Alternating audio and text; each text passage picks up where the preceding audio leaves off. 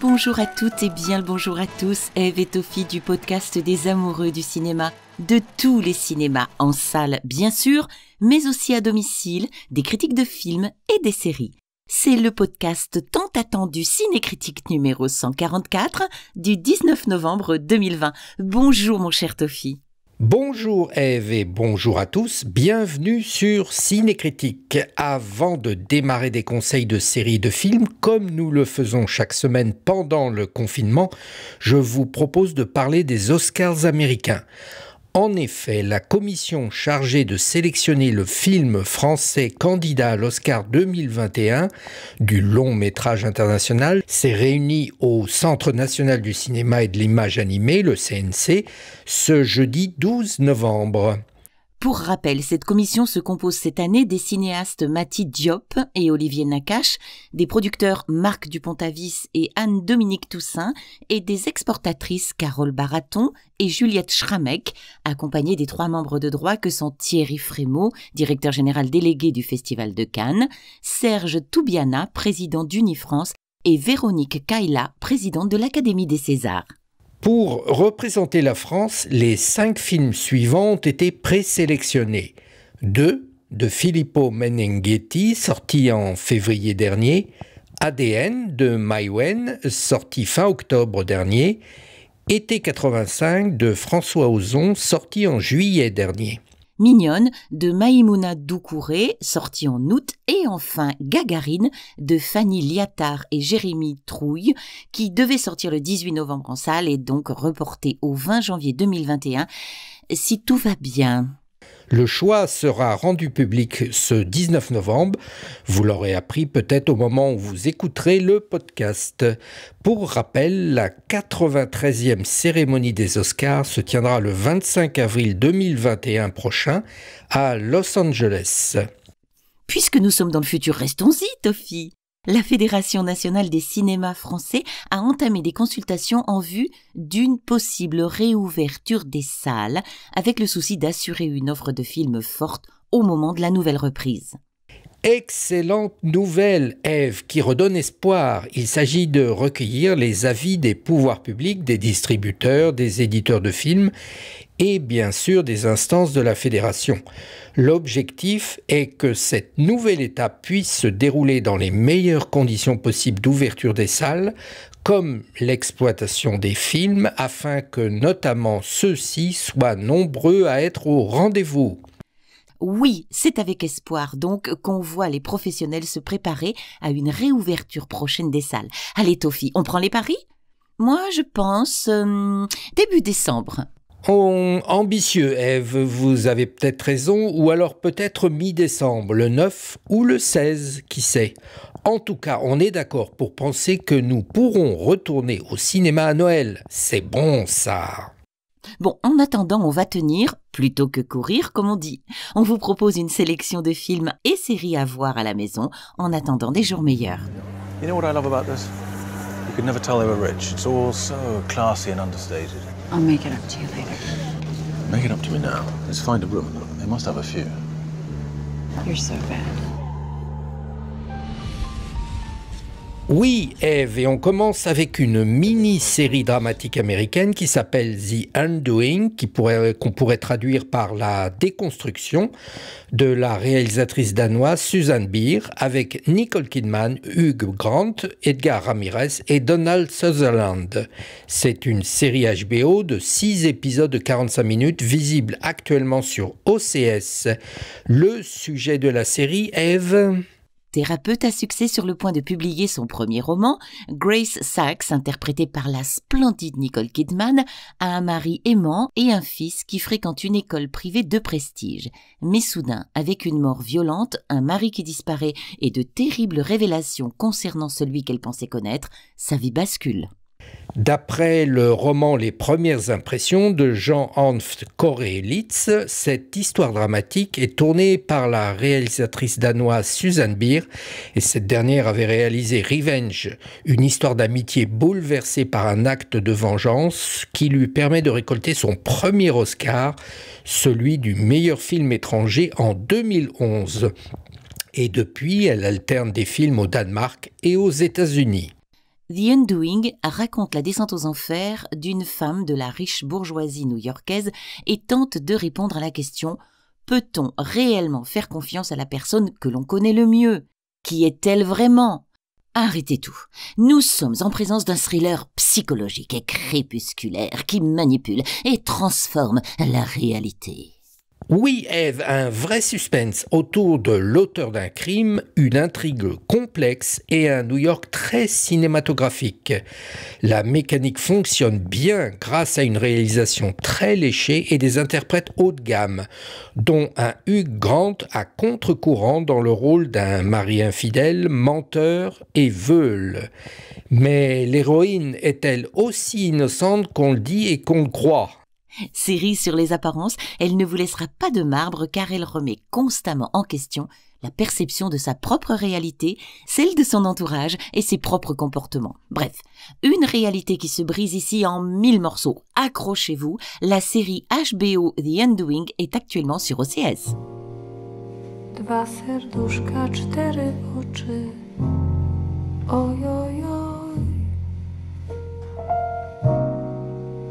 Co płakały we dnie w nocy. Ojojoj, czarne Notre seconde sélection est Cold War, sorti en 2018 et c'est un film polonais de Pavel Pawlowski, diffusé sur Arte il y a quelques jours et qui a rassemblé 815 000 téléspectateurs. Cold War reste visible en ligne jusqu'au 22 novembre sur arte.fr. J'imaginais que ce film allait laisser beaucoup de gens froids, mais j'ai été surpris, disait récemment Paweł Pawlikowski, le réalisateur. Alors, Tofi, cette guerre froide est bien celle des années 50, entre l'Est et l'Ouest de l'Europe. Oui, pendant la guerre froide entre la Pologne stalinienne et le Paris bohème des années 50, un musicien épris de liberté et une jeune chanteuse passionnée vivent un amour impossible dans une époque impossible. Après le magnifique Ida qui date de 2014, le multi-récompensé Paweł Pawlikowski nous revient avec une production toujours en noir et blanc et en format d'écran carré, sa marque maintenant habituelle. Ce film, produit par les studios Amazon, a reçu le prix de la mise en scène au Festival de Cannes en 2018. Voir un film polonais en noir et blanc qui parle du stalinisme de l'après-guerre? Hmm, oui, mais oui, Eve, trois fois oui, foncez le voir ou le revoir, car cette histoire d'amour entre une chanteuse et un pianiste de spectacle de propagande est absolument transcendante dans la beauté pulpeuse d'un noir et blanc et à la mise en scène très élégante. Il faut aussi noter l'extraordinaire idée de parler et dénoncer de manière efficace et originale le stalinisme et l'oppression à travers la musique et le chant. Nous retiendrons aussi l'interprétation exaltée de Johanna Kulik et Thomas Scott qui donne corps à ces amants maudits traversant les époques et les pays, se croisant, se loupant et se retrouvant. Cold War est un très grand film romantique tout en douceur mélancolique dans un écrin photographique élégant. On vous le conseille. Il est sur arte.tv jusqu'au 22 novembre et est bien sûr également disponible en DVD et Blu-ray. Dearest, there are no accidents. Everything comes full circle. No explanation I offer will satisfy you.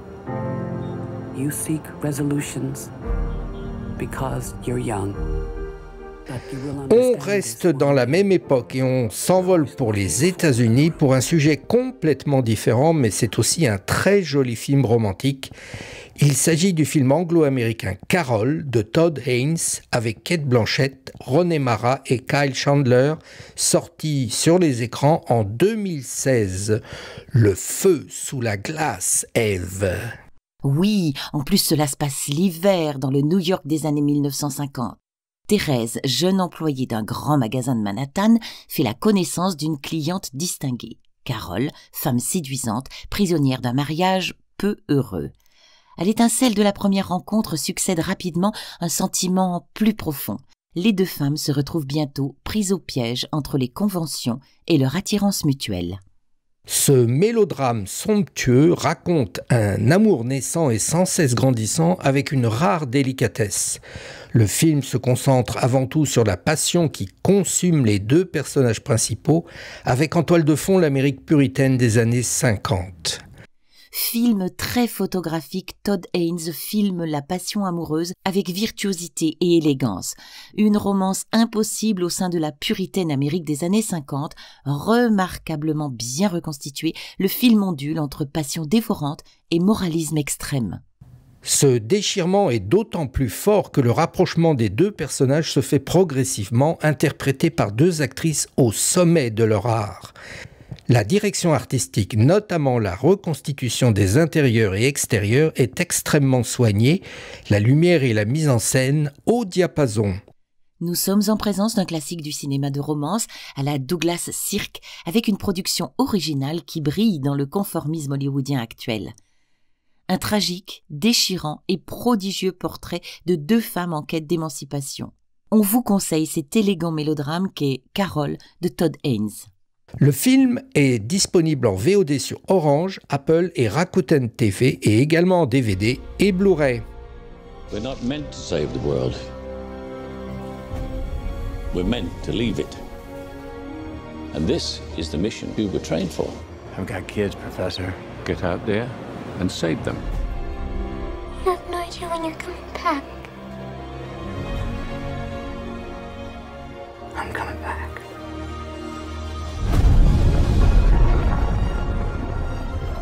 Notre troisième film nous invite à partir pour les étoiles, puisqu'il s'agit de Interstellar de Christopher Nolan, sorti en France en novembre 2014, avec Matthew McConaughey, Anna Hathaway, Michael Caine, John Lithgow, Mac Damon et Jessica Chastain. Dans un avenir proche, Cooper, jeune veuf et père de deux enfants, rejoint un projet spatial international avec un groupe d'explorateurs. Ils utilisent une faille récemment découverte dans l'espace-temps afin de repousser les limites humaines et partir à la conquête des distances astronomiques dans un voyage interstellaire. Œuvre très riche et longue, cette production a l'avantage de pouvoir être perçue et comprise de différentes façons. C'est d'abord un film d'aventure et de science-fiction, très réussi, sur l'aventure spatiale humaine qui repousse ici les limites de l'imagination et de la création avec des scènes grandioses.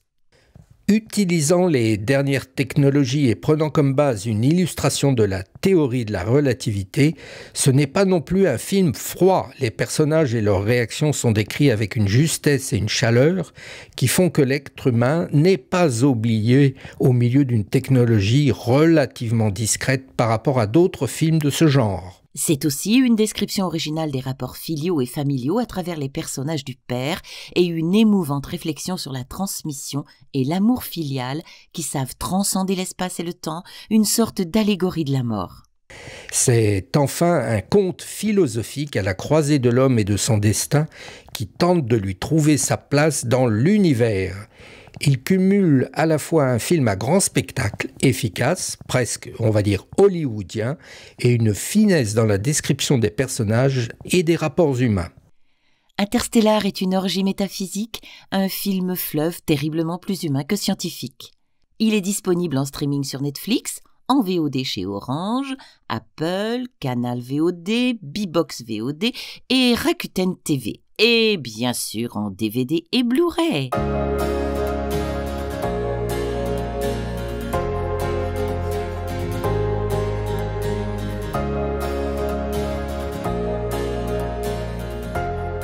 C'est sur ce long voyage dans l'univers que nous retournons sur Terre, Eve, pour conclure cette semaine de cinéma à domicile. On se retrouve la semaine prochaine pour de nouvelles critiques et des infos qu'on espère bonnes sur la prochaine euh, actualité du cinéma en salle et bien sûr en attendant une sélection de films et séries à voir à la maison. Oui, Toffy, Cinécritique, c'est en plus d'un podcast, un site web où vous retrouvez toutes nos critiques de films, ceux qu'on a aimés et ceux qu'on a moins aimés. Et nous sommes présents sur Twitter et Facebook, Cinécritique avec un K. N'hésitez pas à parler de notre podcast autour de vous, de vous abonner et de le noter à partir de votre application préférée. Vous ne pouvez pas nous louper, le podcast Cinécritique est présent sur cinécritique.com, SoundCloud, Apple Podcasts, Spotify, Deezer, YouTube et Instagram. Très très bonne semaine à toutes et tous. Gardez le moral, gardons le moral, faites attention à vous et rendez-vous jeudi prochain.